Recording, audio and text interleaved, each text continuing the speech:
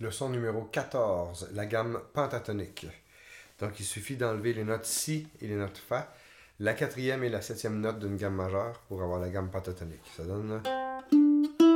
Non. Non. Donc. Ça sonne très. euh, très euh, euh, chinois.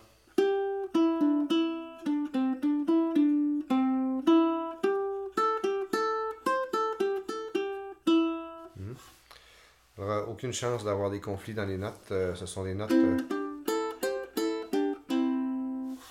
des notes qui se suivent et qui se, qui se complètent bien.